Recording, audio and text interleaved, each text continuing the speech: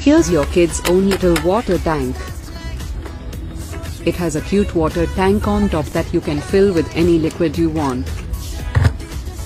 Just press the tap and fill the glass. Get this adorable water tank for your little one today.